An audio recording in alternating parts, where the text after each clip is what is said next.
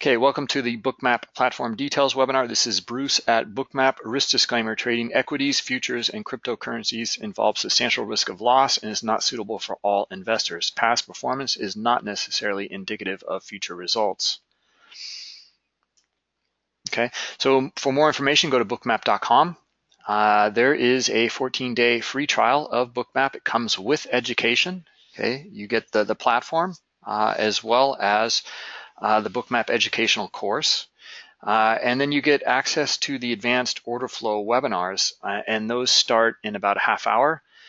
Um, so this webinar is open to the public and uh, it's for going over just the, the basics, understanding what Bookmap is, uh, what it's displaying, uh, how to use it, and um, we'll go over some of the order flow analysis, but the advanced order flow analysis uh, is what we really go into detail uh, in the next webinar. Uh, and that's for people who are in trial or current users. So they've gone beyond understanding just the basics of the platform uh, and don't want to be interrupted. Uh, they want to understand uh, looking for opportunities in the order flow and how Bookmap is, is clearly showing that. Okay, so that, that's the distinction between the two.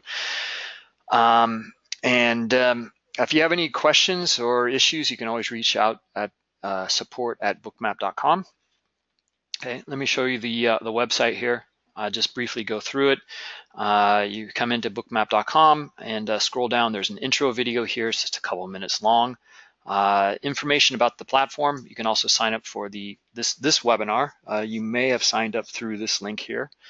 and um, about a bit further down, just more information about Bookmap um, some testimonials. Uh, there's Bookmap for equities.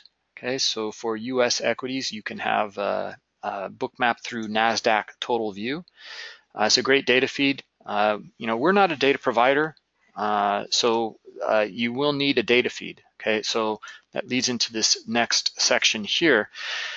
Um, these are the different ways of connecting Bookmap. Okay, we're a software platform. Uh, just like any other platform, like you can see here, NinjaTrader, uh, Trader, um, uh, or uh, TT Trader Pro, okay, and then also uh, Interactive Brokers uh, Traders Workstation. Okay, these three are platforms as well. However, we do connect via the API of these three platforms. We're just a platform like they are though, so you can connect Bookmap directly to your CQG, Rithmic, Gain Capital, IQ Feed, Transact, or through uh, Devexperts for the uh, NASDAQ total view. Okay. Okay, pricing information here. Uh, so there's uh, uh, one version of Bookmap, really. Uh, it's Bookmap Basic. It's 49 per month. It's billed quarterly, and you get that 14-day trial period. Um, the Bookmap Advanced here, well, it's the same as the Bookmap Basic. However, it just has additional features, okay, several. Uh, one is the ability to trade right from the bookmap chart, which is a big benefit because you have the liquidity heat map right there in front of you and you can react to it uh, very quickly.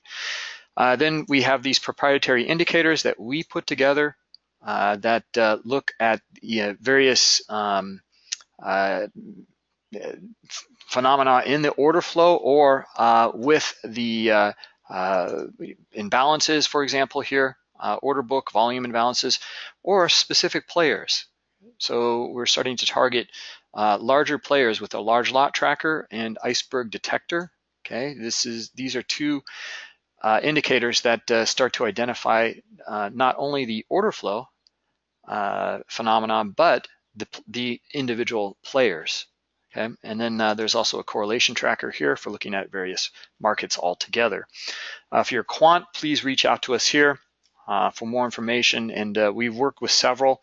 Uh, one note on that, if you are a quant, uh, we are uh, busy here working on the bookmap version 7. So we won't be able to um, really get to some of your very specific needs until after, after the release, okay? okay, because you're going to have very specific needs for your own data, proprietary indicators, etc. Uh, now, if you're new to futures, uh, you can, uh, uh, and you need a data feed as well. Well, you can get a trial of a data feed here. Uh, it's not through us. It's just these are just links to other free trials out there for a couple weeks. So therefore, you can get the, the data as well as the free trial of Bookmap okay, for Bookmap Advanced or Basic. Uh, and then um, there's a list here, complete list of the feature comparisons if you want to see the differences between uh, all the different features in these uh, versions here. Okay, now you can also follow us here on Twitter uh, at bookmap underscore pro for the latest updates and information. Uh, and then you can subscribe to our YouTube channel here. Uh, all sorts of videos here. I would recommend looking at some of the intro videos to begin with, maybe some of the features and components. Uh, and then these order flow video snippets, I think you'll find really helpful. Uh, these go into some of the order flow phenomena in detail uh, that uh, we go through uh, in, in um, a lot of detail in the um, advanced order flow webinars. Okay, so the details here, they're, they're concise, these are short, it's, is covering the concept. Okay, and the the details we go into the webinar are you know long and drawn out, uh, and answer any questions that you have to really understand what you're looking at in Bookmap and how to take advantage of the phenomena that you see. All right, so let's jump into Bookmap and take a look here. Um, what is it, uh, and um, uh, how how do you use it? Okay, so uh, it's a it's a software um, trading platform, and um, you can see all sorts of data here. Okay, now this is that version 7.0 that I, I, was mentioning. Uh, it might look a little different if you're in trial right now. Uh, so the colored heat map is one of the big distinctions as you can see. Okay, now although this looks really complex, it's actually really straightforward. Uh, there's only three elements on this bookmap chart. Okay, historical best bid and offer, the um, volume that traded on that historical best bid and offer. That's all of these dots that you see here. And then the liquidity heat map. Okay, so this, this kind of um, uh, heat map that you see here from, and you can see up here the heat map is uh, from uh, kind of gray, dark gray, uh, to blue, to white, to yellow, to orange. Okay, so areas that are orange uh, are the highest areas of liquidity. Okay, so uh, that's what we're displaying here. There's just, there's just these three elements. Now, let me go through it in detail here uh, so you understand, uh, and we'll just take off uh, all of these um, uh, other elements here, uh, and then we're just going to look at the uh, a candlestick chart here, okay?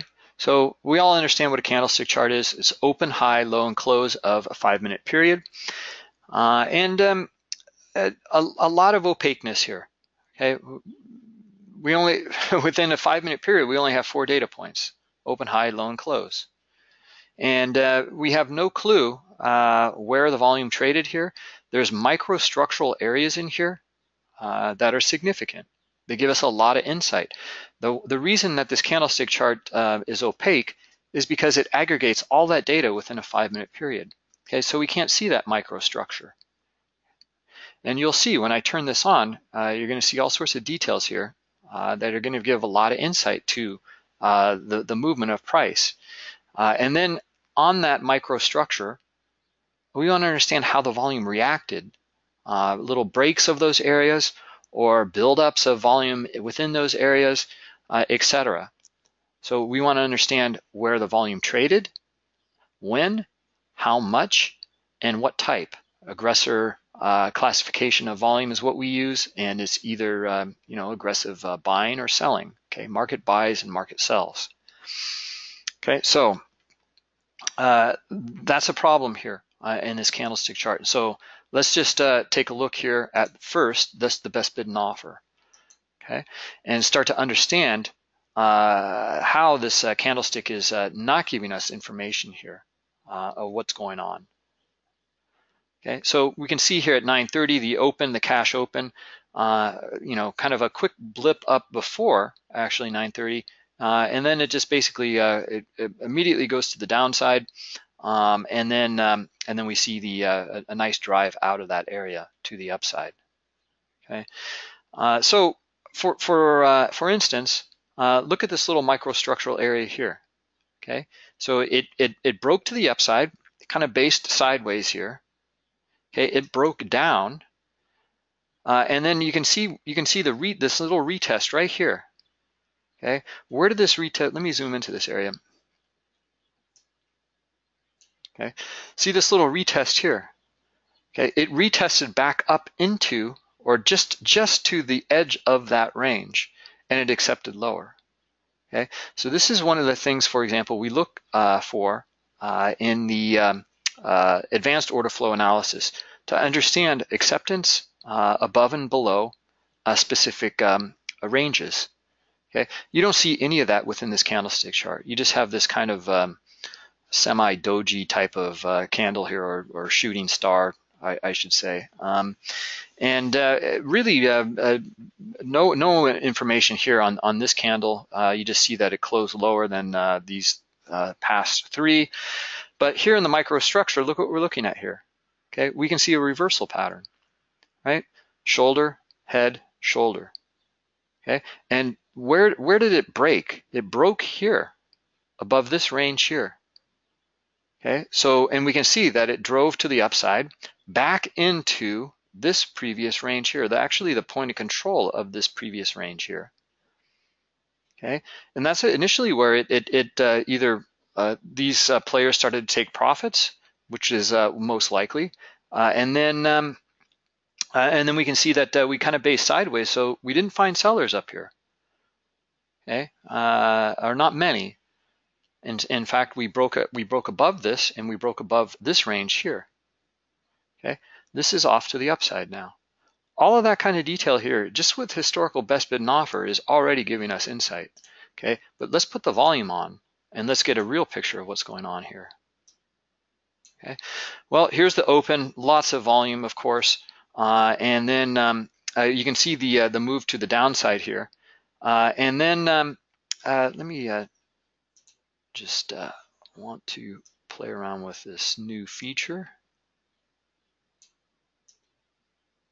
Okay. Okay. All right. So, and we can see the, uh, uh, you know, volume trading at lower lows here. Um, this is typical of a trending environment. And um, uh, on these lower uh, highs here, uh, there's uh, less volume. Okay. But that changes here. Here's our breakout of this range. Okay. And who's in control now? Buyers. Okay. This is just the traded volume. We haven't even looked at the auction yet, but we're already understanding the pattern and we're already understanding the, the break of that pattern and who's in control in terms of volume. Okay, it's all here in the in the volume dots. Okay, and we can we can just see it. It's, it's a visual representation. Now let's zoom into this area here, and we'll get more insight.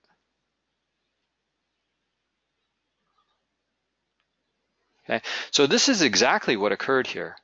All right, now uh, you can see the break to the upside. Now there's a we're we're zoomed in and we're just basically at um, uh, millisecond level here, we can continue to zoom in, uh, but we're already seeing a bit of latency here because all of this volume traded very, very quickly, right?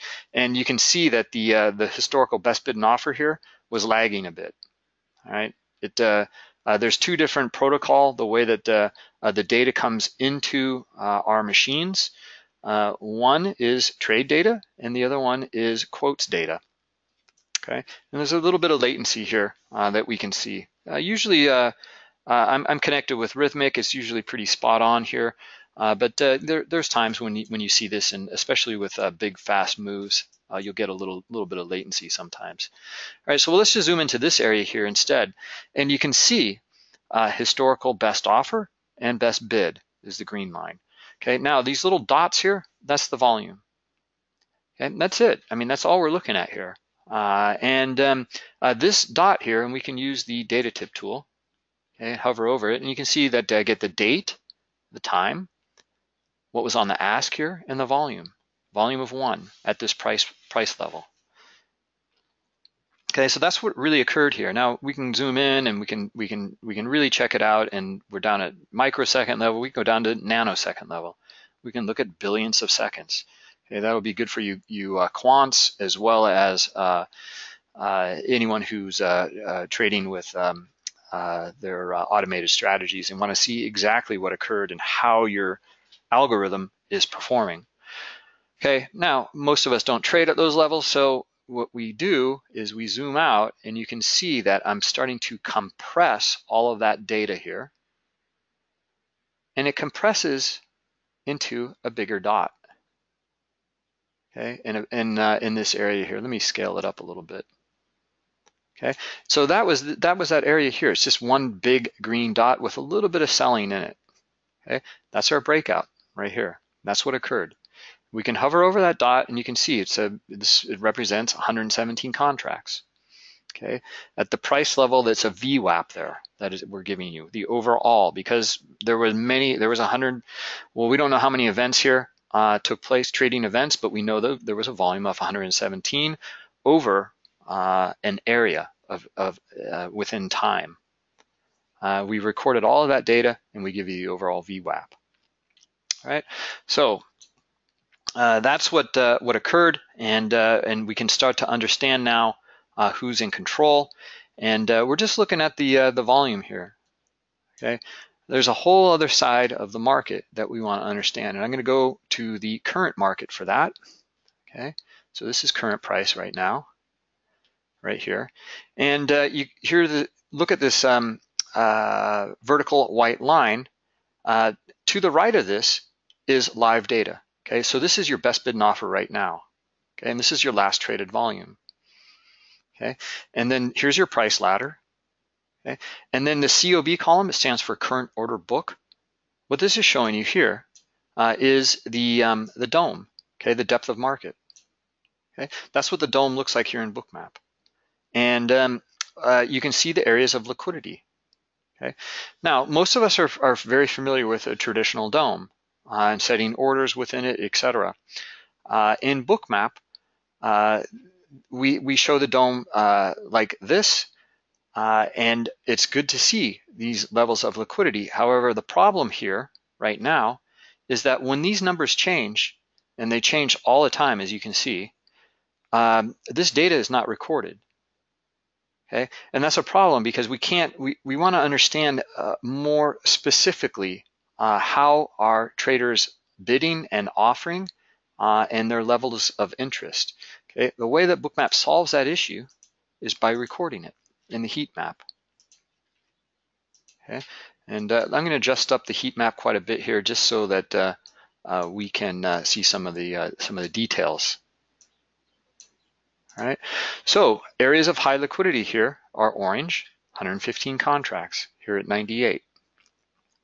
Okay, at, up here at 99, you can see 72 contracts, right? And uh, it's uh, is yellow.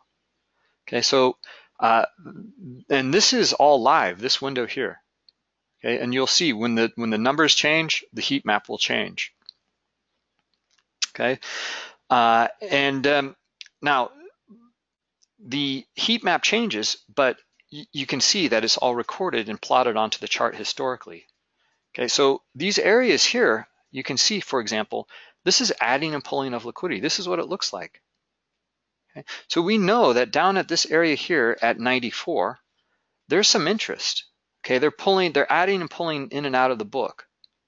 In fact, you can we can even start to identify not only are they are kind of interested at this level, um, they they showed a, a little bit of a, a disinterest. They pulled the majority of their liquidity here and added two ticks lower. So they're down here, and then they added a little bit more in. Okay, so we're starting to understand re really what's going on in the auction. And I look at them uh, here now with 97 contracts here at uh, 95 and a quarter. Okay, they just jumped in the book. It's skewing the auction, and it looks like we're going to come up and test 98. Okay, because all of a sudden there's a lot of buying. Now there's 100 contracts here. Okay, so I'm looking for this to come up and test 98 and uh, we're almost we're almost there as it is. But it's this skew in the auction. All of a sudden, this interest jumped in, okay, and it has an effect on price. Okay, just think of any other kind of auction out there, uh, and, uh, and and start to use that analogy. Okay, we're we're testing 98 right now. It just traded into 98, 28 contracts. Okay, and uh, they're starting to pull some of these contracts up here now where originally there was 115 contracts. Note how it got, you know, uh, uh, a little bit uh, more yellow and then white here. So next area is, is 6,500 even, 115 up there. Okay, we just tested 99. That was the next level that was uh, we were looking at previously. Just tested it and then it sold off. uh, anyway, uh, that's the heat map um, and starting to what we're able to utilize though here with this heat map, okay, is the current book, as you can see here, that we've been just kind of dialing into. Uh, but then uh, what we can do is we can zoom out and we can get a much bigger picture of this heat map. Okay, and let me bring this down or up a bit here and uh, bring down the brightness. And I'm just going to highlight here larger players. Okay, where where are the, the, on the higher time frame? Where are the larger players? Well, they're up here at 6,500. Okay, are they above that as well? No, not really.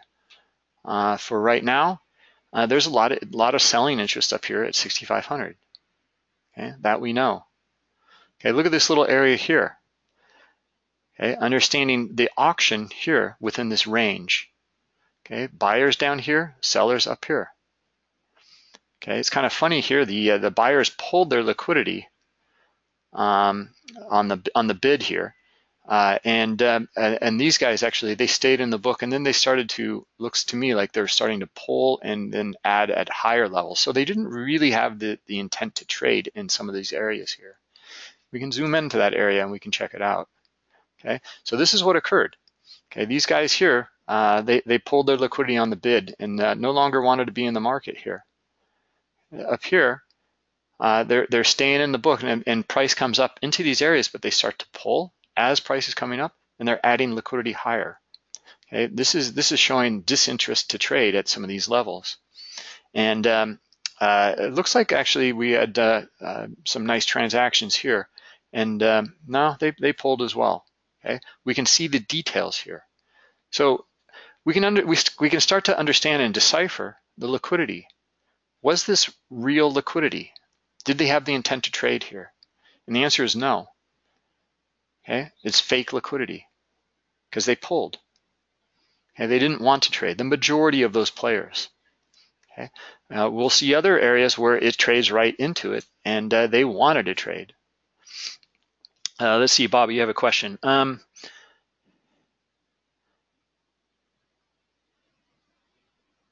uh, yeah, the um, the newer version uh, coming out, um, I, I, believe, has the um, different different offerings for historical data. Okay, so uh, what what uh, Bobby is asking here is about uh, once I open up my Bookmap, I start collecting data okay? And um, uh, because you know we're looking at the full depth of market here, uh, not just you know open, high, low, close of a period. Uh, we're looking at um, you know all, all, sorts of data here, and um, uh, that data uh, is is not free. So um, anyway, the um, uh, you can uh, once you open up Bookmap, you start recording it. However, there, we're working on some options here, uh, and it's going to be available in version 7.0 coming out okay? Okay, all right, well, here, here's our, uh, we can see where we, we came up into. Uh, again, uh, and we, we, you know, we're looking at it when it was uh, starting to break. Uh, we saw that skew in the book here. We tested into 98, and now we just tested into 6,500. Okay, now they're up here. Okay, up at, uh, at, at 63 uh, and a half, it looks like. Something like that. Okay. All right, and then look at the look at the the buyers starting to chase up underneath too. Now this has got to be the same player too. Note how it's high liquidity, pulls, adds higher, pulls, adds higher again here. Okay. All right, so all sorts of information, all sorts of data um, and a, a, lot of clarity and a lot of insight to uh, starting to understand uh, possible future price movements here. Okay, and uh, the beauty of it is uh, that we can look at this on a higher time frame. Okay, so that makes your DOM usable not just for the current market, uh, but much higher time frames. Okay. All right, guys. Uh, well, thanks for coming. And if uh, you're in trial uh, for the product, we'll see you shortly in the in the next webinar. Okay. Thanks.